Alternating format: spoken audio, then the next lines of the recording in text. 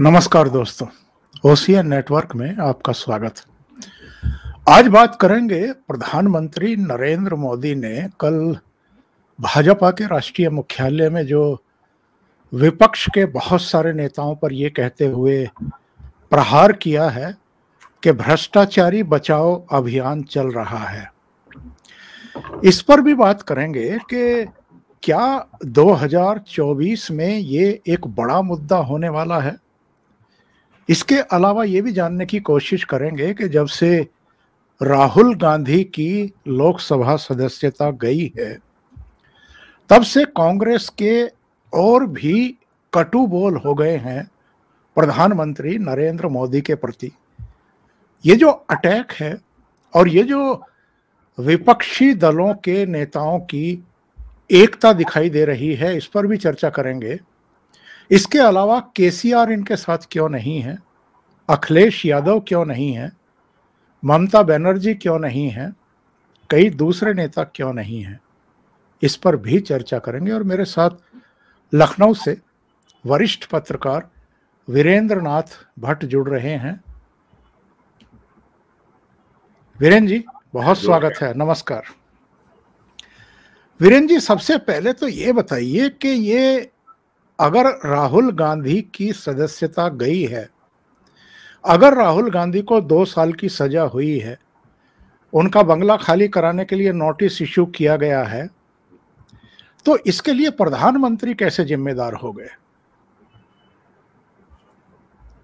चौधरी साहब, आप मेरे सवाल के जवाब इस साल का, आप इस सवाल का जवाब दीजिए कि अफजल हम शर्मिंदा हैं, तेरे कातिल ज़िंदा हैं।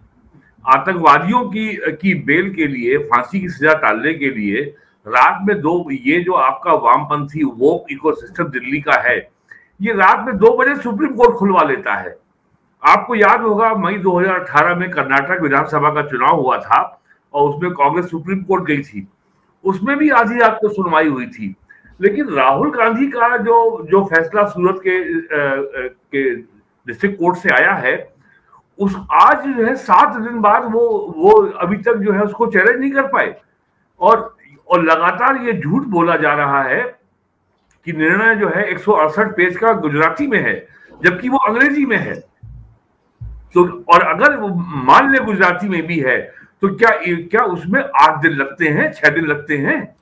दूसरी बात, प्रधान अगर सुप्रीम को सूरत की कोर्ट ने इनको पूरा मौका दिया कि क्या आपने जो पूरे एक समुदाय के बारे में जो अपशब्द कहे हैं क्या इसके लिए आप खेत प्रकट करते हैं? उन्होंने कहा, मैं नहीं करूँगा, मैं अपनी बात पे कायम हूँ। अगर ये खेत प्रकट कर लेते तो मामला वहीं खत्म हो गया होता। दूसरी बात, इनको कोर्ट से समन जारी हुआ, इन्होंने इग्नोर किया। कोर्ट से नोटिस आया, इन्होंने इन्होंने इग्नोर किया। सीआरपीसी के शायद सेक्शन दो सौ इक्यावन में अगर ये उस नोटिस को हाईकोर्ट में चैलेंज कर देते तो भी ये मामला समाप्त हो सकता था। और और ये लोगों को मालूम है, ये बात लगातार कही जा रही है, अब लोगों को रट गया होगा कि जनप्रतिनिधि कानून रिप्रेजेंटेशन ऑफ़ पीपुल एक्ट में जो 2013 में Lily Thomas versus state of India में जो सुप्रीम कोर्ट का फैसला था आरपी एक्ट का सेक्शन एट सब सेक्शन तीन में ये फैसला कर दिया था कि दो साल या दो साल से अधिक की अगर सजा होगी तो वो व्यक्ति, वो विधायक या वो सांसद स्वतः डिस्कालीफाई समझा जाएगा। That person will stand automatically disqualified केवल चुनाव आयोग की की रिकमेंडेशन के आधार पर विधानसभा अध्यक्ष या लोकसभा अध्यक्ष या राज्यसभा के चेयरमैन को केवल एक औपचारिकता निभानी है नोटिफिकेशन जारी करना है कि फलाने स्टेट की, फलाने ज़िले की, फलानी कोर्ट के द्वारा इस दिन को जो ये ये निर्णय कोर्ट का आया है इस दिन के बाद से इस समय से आप जो है डिस्कालीफाइड माने जाएँगे और, ये सीट अब वेकेंट डिक्लेयर की जाती है। ये कानूनी व्यवस्था है 2013 से आज 10 साल हो गए। 32 लोगों का डिस्कालिफिकेशन हो चुका है। यूपी में पाँच लोगों का हो चुका है। तीन का तो अभी हुआ है चार महीने पहले। खतौली के विक्रम सैनी का हुआ वहाँ पे चुनाव भी हो गया। आज़म खान के बेटे अब्दुल्ला आज़म का फरवरी में अभी हुआ है एक महीना पहले और उसके और आज उसके उपचुनाव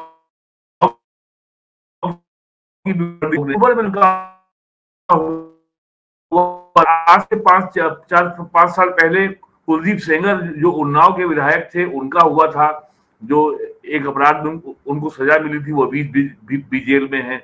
उसके पहले हमीरपुर के विधायक बीजेपी के अशोक चंदेल का एक, एक हत्या के मामले में कन्विक्शन हो गया वो भी जेल में है वो डिस्कालीफाई हो गए ये भी बात अठारह की है। तो पाँच मामले तो यूपी में हो चुके हैं देश में बत्तीस मामले हो चुके हैं लालू यादव स्वयं हो चुके हैं तो इसमें नरेंद्र मोदी की भूमिका कहाँ से आती है? ये मेरी ये ये कोई कांग्रेस के जो कानून के जो विद्वान है वो मुझे बताएँगे तो बड़ी कृपा होगी। क्या नरेंद्र मोदी सूरत के सीजीएम कोर्ट को ये कह सकते हैं? कि भाई ये आपने निर्णय गलत दिया आप इसको पलट दीजिए।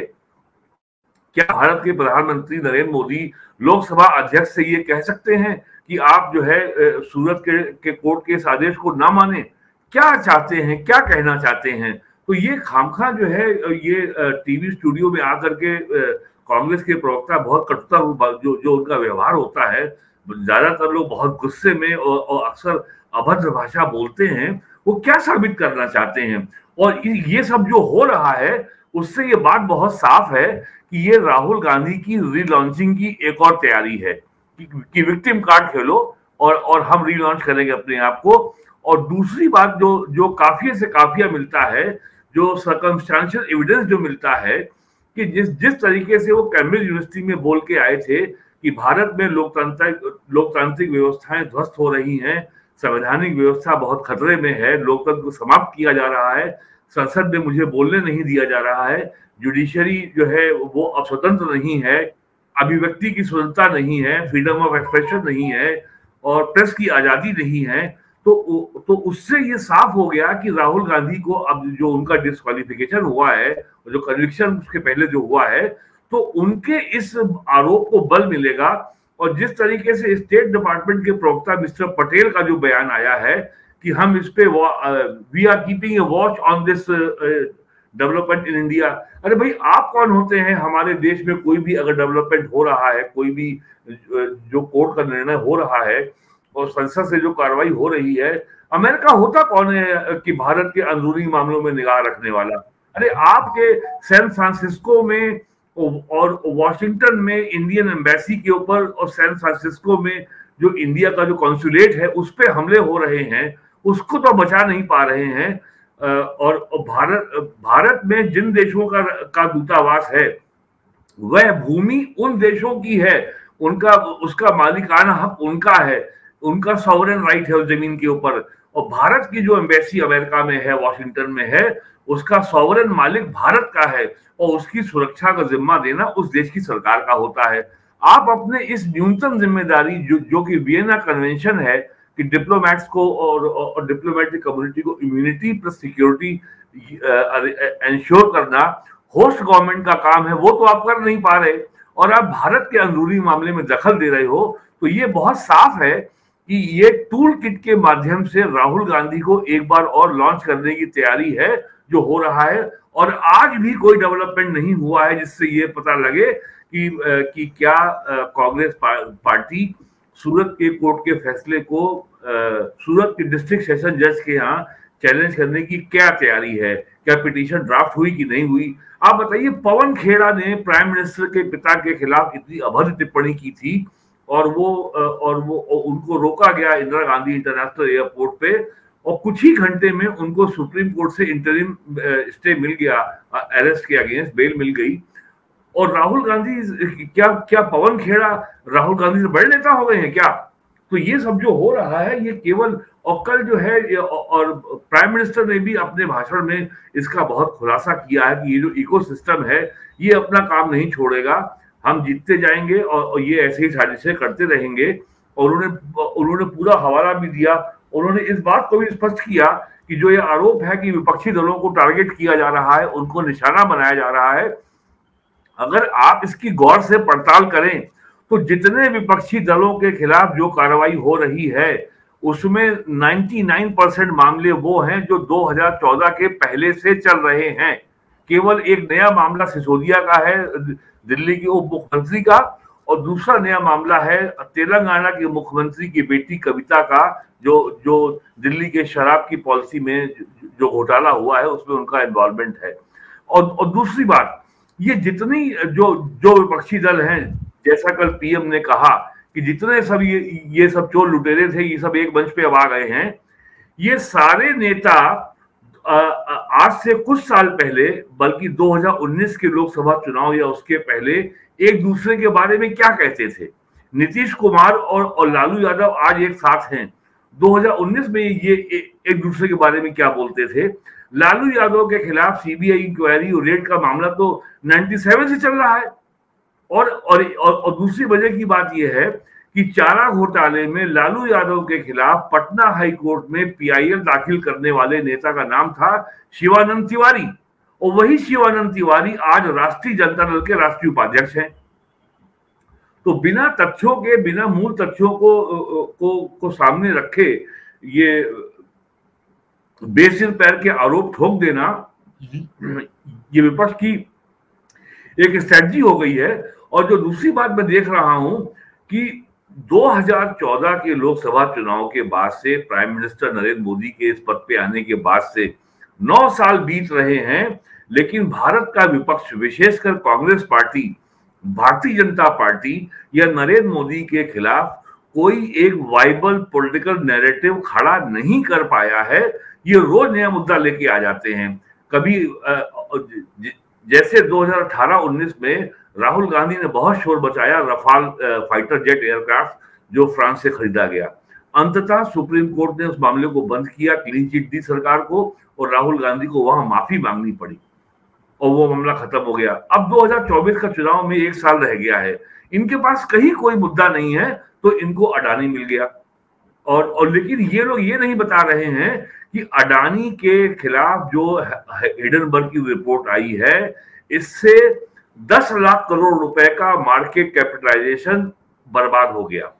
और इंडिया के जितने भी बड़े जो टॉप कंपनीज़ हैं, सबने अपना अपना एक्सपेंशन का, नए इन्वेस्टमेंट का, कैपिटल एक्सपेंडिचर के प्लान को होल्ड पे रख दिया।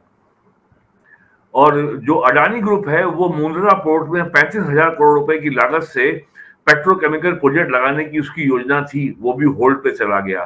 तो आपने अपने राजनीतिक लाभ के लिए आपने इतना बड़ा नुकसान देश की अर्थव्यवस्था का करा दिया और अभी भी वो जारी है। लेकिन ये नहीं बताते हैं कि अडानी का कितने हज़ार करोड़ का इन्वेस्टमेंट राजस्थान में है, छत्तीसगढ़ में है, बंगाल में है, केरल में है। और कित और 2004 से 14 के बीच में अडानी को कितने लाख करोड़ रुपए के ठेके मनमोहन सिंह की सरकार में मिले। तो ये सारी बातें हैं और, और ये केवल ये केवल जो है और, और एक बात और स्पष्ट हो गई है कि एक सब्सटेंटिव पॉलिटिकल नैरेटिव का विकल्प नफरत की राजनीति नहीं हो सकती। राहुल गांधी ने अड़तीस किलोमीटर की भारत जोड़ो यात्रा की मोहब्बत की यात्रा की मोहब्बत की दुकान चलाई। और फिर और और, और उन्होंने उनके बतौर उनके नफरत के खिलाफ उनकी यात्रा थी और फिर वो वो खुद ही कह देते हैं मुझे एक भी आदमी ऐसा नहीं मिला जो जो किसी से नफरत करता हो। तो ये न, ये नफरत खुद ही कर रहे हैं। केवल इनको जो हेट्रेड है नरेंद्र मोदी से कि मोदी ना होने पावे। और ये खाली भारत में ही चिंता लोगों को नहीं है कि मोदी ना होने पावे। अमेरिका को भी चिंता है, मोदी ना आने पावे, वेस्ट को भी चिंता है, यूरोप को भी चिंता है कि भाई ये नेता जो आ रहा है और अगर ये आ गया तो ये खाली अपनी सुनेगा, हमारी नहीं सुनेगा। और इस समय यूरोप और अमेरिका के लिए सबसे बड़ी चिंता की बात यह है कि मोदी सरकार 40 देशों के साथ रुपए में विदेशी व्यापार करने की तैयारी कर चुकी है। 12 देशों के वोस्ट्रो अकाउंट इंडिया में खुल चुके हैं।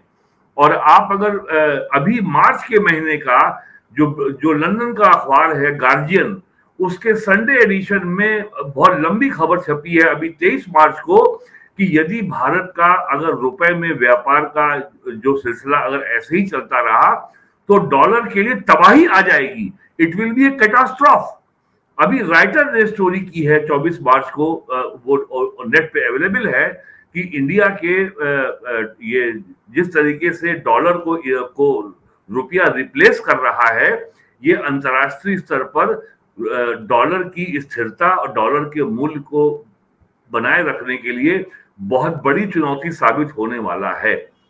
वो भारत का फ़ायदा ये है कि हमारा जब एक्सपोर्ट इंपोर्ट का जब फासला बढ़ता है इंपोर्ट ज़्यादा होता है एक्सपोर्ट कम होता है, यानी डॉलर बाहर ज़्यादा जाता है डॉलर आता कम है तो करंट अकाउंट डेफिसिट बढ़ता है। करंट अकाउंट डेफिसिट बढ़ने से रुपए की वैल्यू गिरती है, रुपए की वैल्यू गिरने से गवर्नमेंट की डेट लाइबिलिटी बढ़ती है और महँगाई बढ़ती है। तो ये सारी बातें हैं। तो क्या राहुल गांधी क्या क्या क्या इस बात के खिलाफ हैं कि भारत सरकार का अधिकाधिक देशों से व्यापार रुपए में ना हो? क्या वो चाहते हैं? और जिस तेज़ी से भारत का यूपीआई जो जो जो आपका जो आपका फिनटेक है, जो आपका डिजिटल इकोनॉमी का ऐप है यूपीआई है ये, जो नेशनल पेमेंट कॉरपोरेशन लिमिटेड का या जो भीम ऐप है उसके ज़रिए जो अब अब दुबई से यूएई से सिंगापुर से करीब 12 देशों से भारत को सीधे पैसा आप भेज सकते हैं।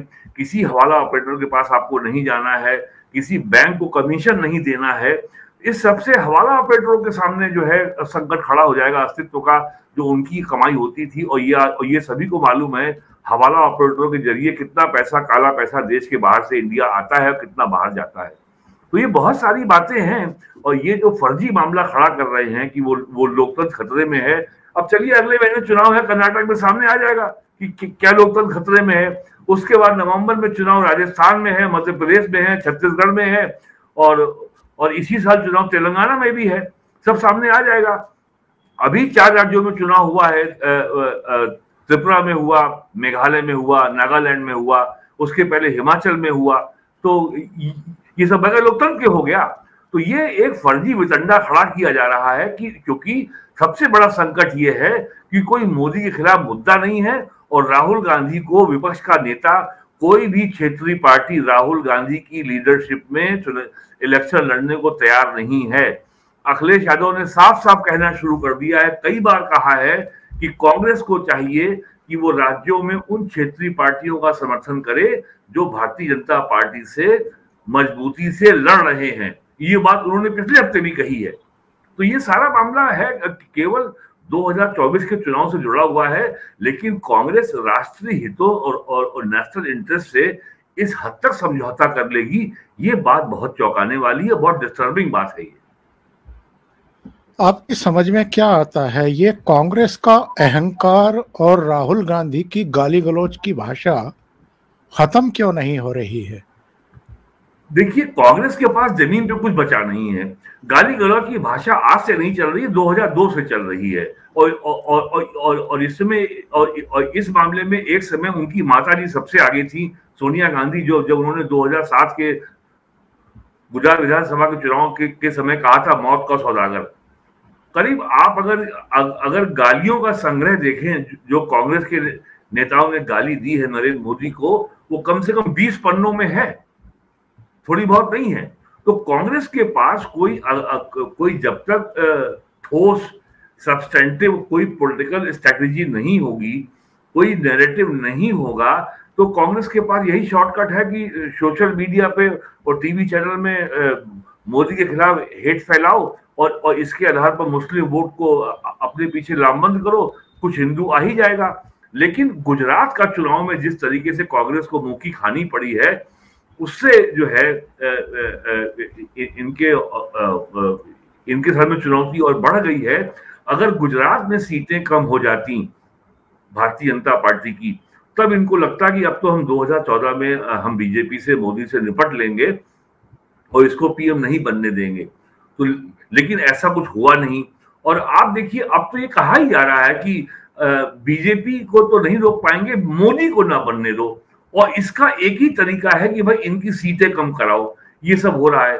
तो आने वाले दिनों में जो कांग्रेस के पास, ये बिल्कुल साफ़ है कि कांग्रेस के पास ना तो कोई मुद्दा था, ना कोई संगठन था, ना कोई विचार था। अब जो इनके पास रहा सहायक नेता था, अब वो भी जो है जो उसकी क्रेडिबिलिटी है जो उसकी लीडरशिप है that is also under very serious question और वो भी सवालों के घेरे में आ गई है कि ये कैसे कैंपेन करेंगे। सामने आ जाएँगे, अभी के चुनाव में।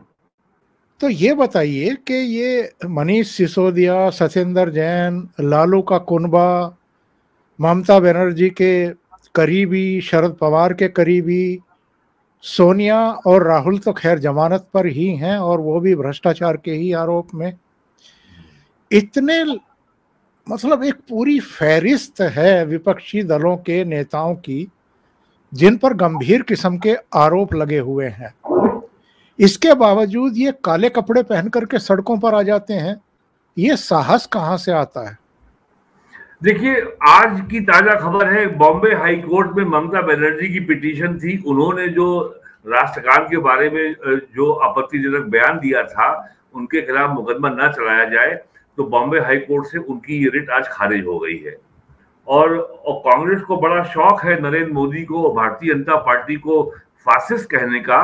तो आपके दर्शकों को मैं ये बता दूँ कि इटली की जो फासिस्ट पार्टी थी मुसोलिनी की उसकी सेना की भी ड्रेस काली ड्रेस थी।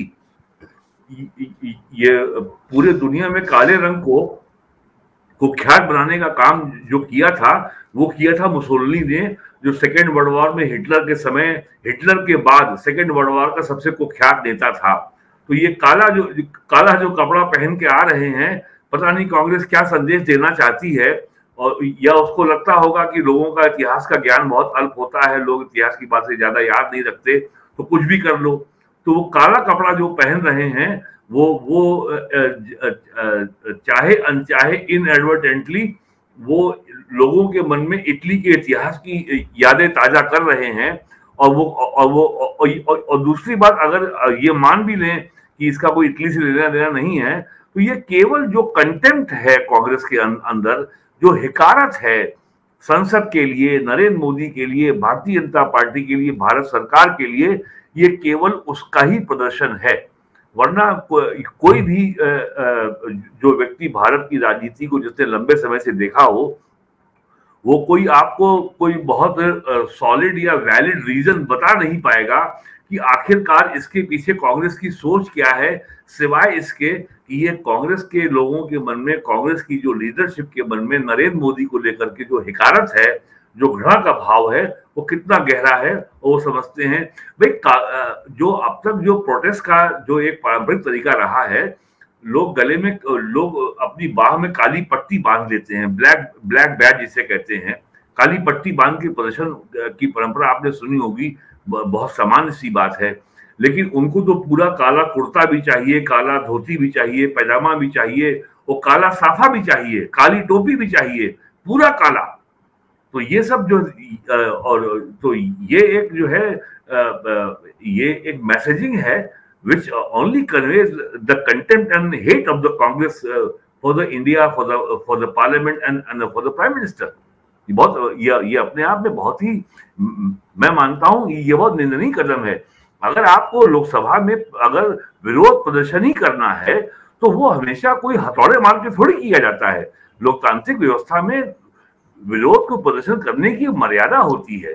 कि आपने अपने अपने हाथ में एक एक काली पट्टी बाँध ली बस या जो एक धागा बाँध लिया। तो तो ये सब होता है लेकिन इतना काला ये सब जो जो हो रहा है ये ये ये तो अब मुझे कहने में हिचक नहीं है ये केवल कांग्रेस का कालापन है और कुछ नहीं। ये, ये बताइए मर्यादा से। ये बताइए कल जो प्राइम मिनिस्टर का भाषण था खास तौर से भ्रष्टाचार पर जो वो बोले हैं। क्या उन्होंने 2014 का एजेंडा सेट कर दिया है? देखिए भारतीय जनता पार्टी के बारे में ये ये इस रूप में आकलन करना इसलिए मैं उचित नहीं मानता कि भारतीय जनता पार्टी में कभी कोई कोई काम एडहॉक तरीके से नहीं होता, तदर्थवाद तरीके से नहीं होता। उनका जो जो भी काम होता है, वो एक लॉन्ग टर्म सब्सटेंटिव तरीके से होता है। वैचारिक आधार पे होता है आइडियोलॉजिकल बिल्डअप के आधार पे होता है, संगठन के आधार पे होता है, लोगों के आधार पे होता है। जनता को गोलबंद करके, जनता को मोबिलाइज करके, जनता और अपने मुद्दों को तय करके और उन मुद्दों के आधार पर जनता से निरंतर संवाद बनाए रखने के, अपने स्ट्रेटजी के साथ होता है। वो चाहे प्राइम मिनिस्टर का मन की बात का कार्यक्रम हो या या जैसे कि अभी हाल में पीएम ने प्रोग्राम में कहा कि इतने मंत्री हैं जिनको हर महीने एक बार नॉर्थ ईस्ट में जाना आवश्यक है। नॉर्थ ईस्ट में आप जाइए। तो जिस तरीके से भारतीय जनता पार्टी की सरकार के नौ साल में उत्तर पूर्व की भारत के मुख्य धारा में जिस तेज़ी से नॉर्थ ईस्ट जुड़ा है, उसकी जो मेन स्ट्रीमिंग हुई है और जिस तरीके से अरुणाचल में ट्रेन पहुँच गई, नागालैंड में पहुँच गई, मेघालय में पहुँच गई, त्रिपुरा में बांग्लादेश के ज़रिए ट्रेन पहुँच रही है नए नए पुल बने हैं हाईवेज बने हैं पावर ट्रांसमिशन लाइंस बनी हैं। तो ये जो काम भारतीय जनता पार्टी का है, ये बहुत ही ठोस अपने एजेंडा के आधार पे होता है, अपने आइडियोलॉजिकल एजेंडे के आधार पे होता है और यहाँ पे जो जो जो लेफ़्ट का इको सिस्टम है, जो उसने ये छवि बनाई है कि आरएसएस एक तानाशाह संगठन है और नरेंद्र मोदी दूसरे एक तानाशाह हैं। इतने बड़े देश में एक ही व्यक्ति या दो व्यक्ति के बल पर कभी शासन प्रशासन चल ही नहीं सकता। जब तक आप मैसिव मैसिव स्केल पे कलेक्टिव लीडरशिप अगर काम नहीं करेगी और, और मल्टी लेयर पे अगर काम नहीं होगा तो ये ये तंत्र चल ही नहीं सकता। योगी आदित्यनाथ जो है उत्तर प्रदेश के मुख्यमंत्री हैं वो कभी दिल्ली की ओर नहीं देखते कि, उन्हें क्या निर्णय लेना है। उनको ये मालूम है कि पार्टी की नीति क्या है, पार्टी का लॉन्ग टर्म प्रोग्राम क्या है और उन्हें क्या करना है। वो उसी अनुसार कर रहे हैं। और यही बात देश के अन्य मुख्यमंत्रियों पर भी लागू होती है। तो भारतीय जनता पार्टी के बारे में ये कहना कि कोई बहुत वो उन्होंने इस चुनाव के आज को देखते हुए उन्होंने ये काम कर दिया। नया काम केवल ये है, कर्नाटक में चुनाव होना है तो कर्नाटक में प्रधानमंत्री मोदी की यात्राएँ बढ़ गई हैं। और आपने देखा होगा कि जनवरी, फरवरी, मार्च में हर महीने प्राइम मिनिस्टर की यात्रा एक ना एक प्रोजेक्ट के उद्घाटन, शिलान्यास को लेकर के कर्नाटक हुई है। बस इतनी नई बात हुई है। लेकिन ये भी तय था पहले से कि ये हमें चुनाव के एक, दो, तीन महीने पहले करना है। वो किया और अब जितनी यात्राएँ होंगी कर्नाटक की उनकी, वो सारी की सारी इलेक्शन कैंपेन के लिए होंगी।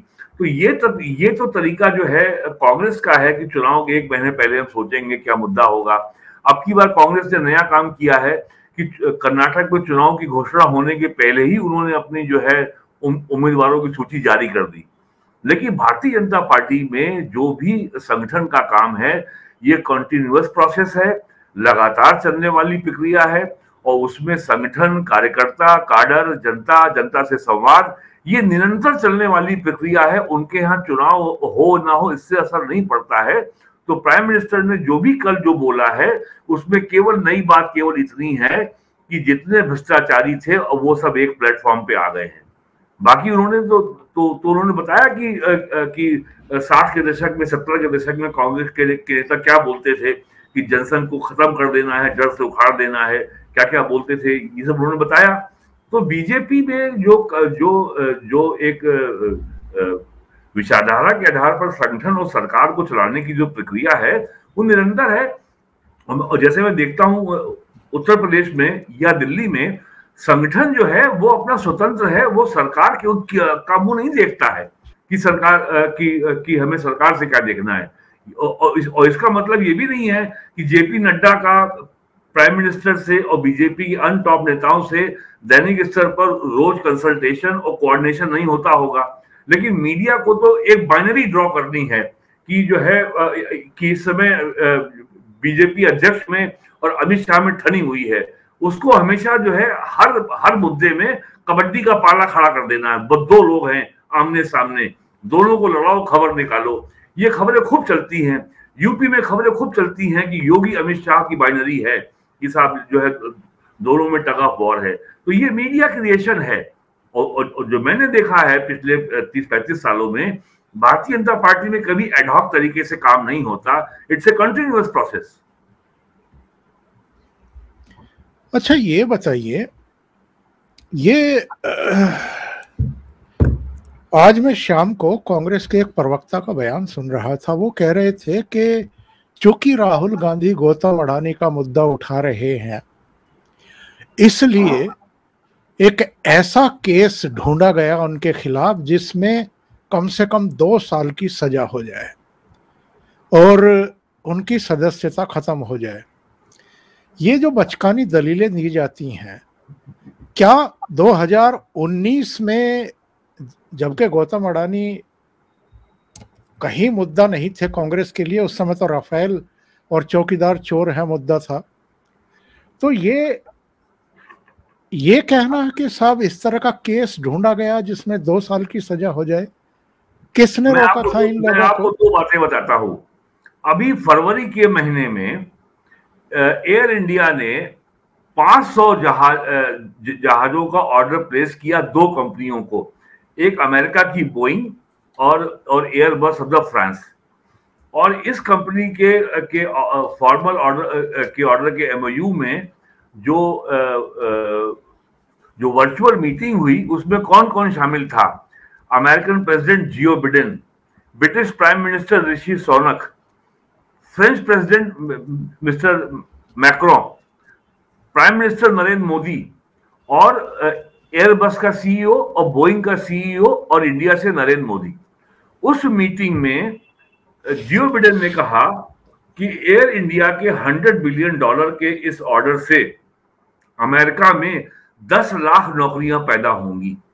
और इस 10 लाख नौकरियों में आधे से ज़्यादा तो नौकरियाँ ऐसी होंगी जिसमें यूनिवर्सिटी डिग्री की भी आवश्यकता नहीं होगी। इसके बाद इंडिगो ने फिर हंड्रेड बिलियन डॉलर का 500 जहाज़ का ऑर्डर प्लेस किया इन्हीं अमेरिकन और यूरोपियन कंपनीज़ को। तो क्या आप ये कह सकते हैं कि जो जो अमेरिका की बोइंग कंपनी है क्या उसके तो क्या अमेरिकन प्रेसिडेंट, क्या उससे मिला हुआ है? या या बोइंग कंपनी का जो सीईओ है अमेरिकन प्रेसिडेंट उसकी जेब में है? क्या फ्रेंच प्रेसिडेंट जो है मैक्रो क्या वो एयरबस के का जो कंपनी का जो मालिक है, क्या उसने खरीद लिया है?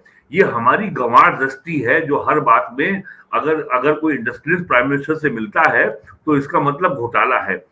आप पिछले 45 50 साल का इतिहास उठा के देख लीजिए, जब भी कोई British prime minister French prime minister American president Canada का का प्राइम मिनिस्टर जब भी इंडिया आया है, वो अपने कंपनीज़ अपने देश की कंपनीज़ के सीईओ की भारी भरकम फौज लेके आया है, अपने देश का माल बेचने के लिए आया है।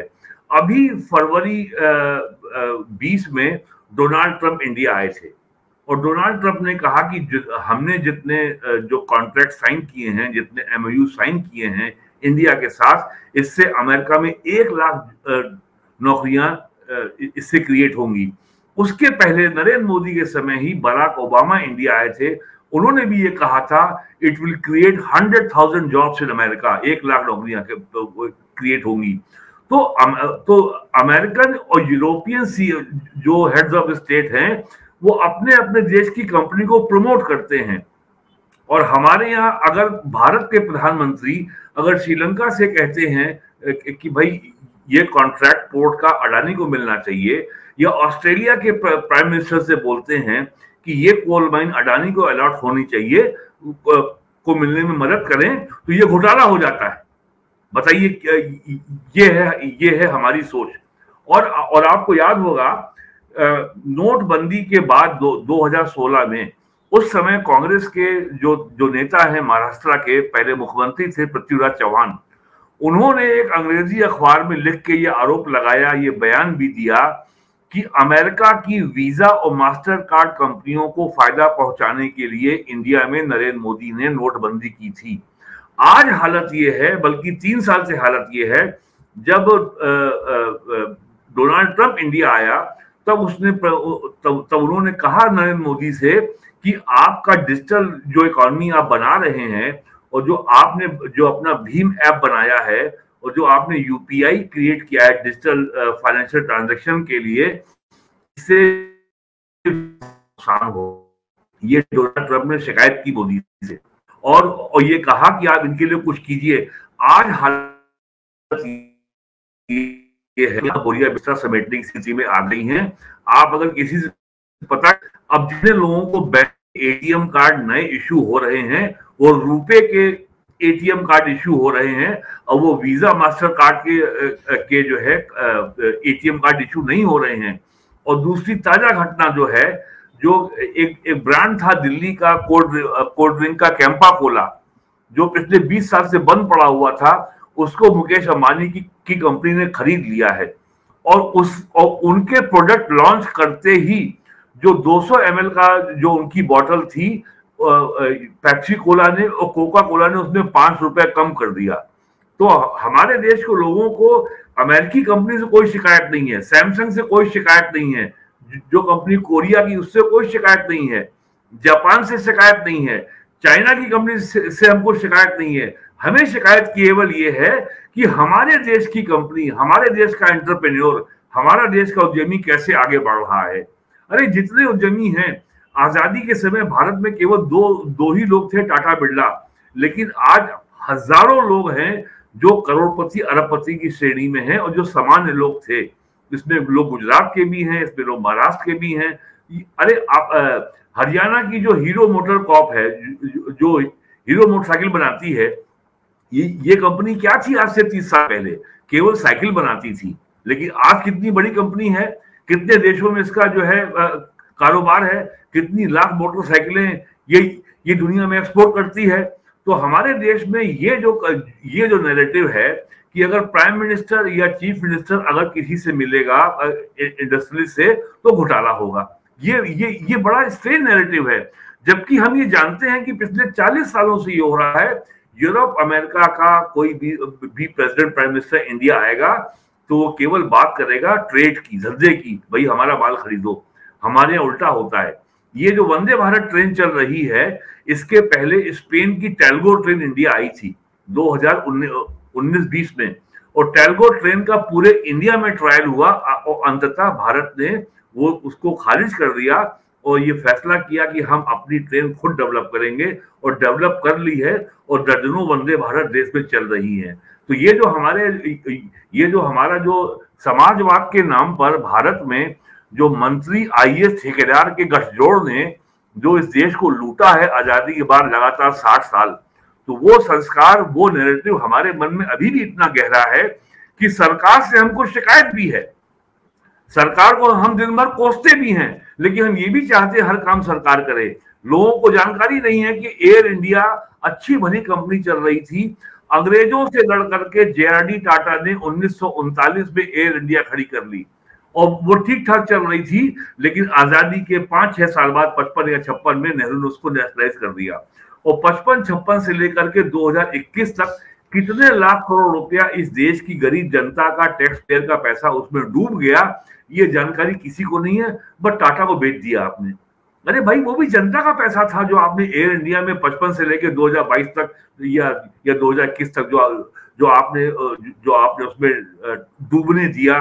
और और यूपीए की सरकार के समय Praful Patel civil aviation minister थे, कितने घोटाले हुए उसमें एयर इंडिया के जहाजों की खरीद में।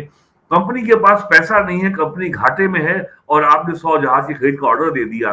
ये लोगों को याद नहीं है। और कितने लाख करोड़ रुपया भारत सरकार का बच गया एयर इंडिया के प्राइवेटाइज होने की वजह से।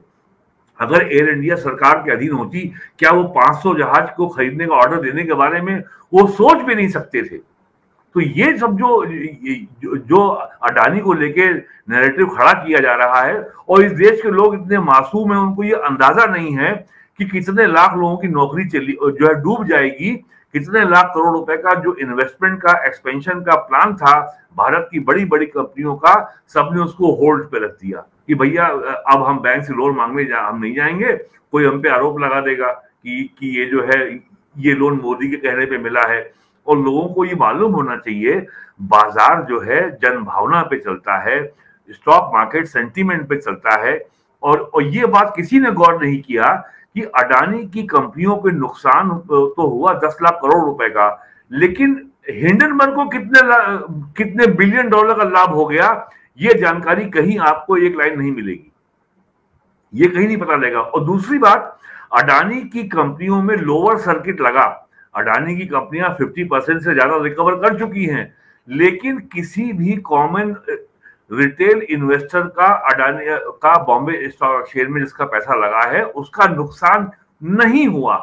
ये चाहते थे कि पूरा पूरा बॉम्बे स्टॉक एक्सचेंज बैठ जाए और और इन्वेस्टर का निवेशक का पैसा आज पंद्रह करोड़ लोग प्राइमरी मार्केट के, के माध्यम से और म्यूचुअल फंड के माध्यम से बॉम्बे स्टॉक एक्सचेंज से जुड़े हुए हैं।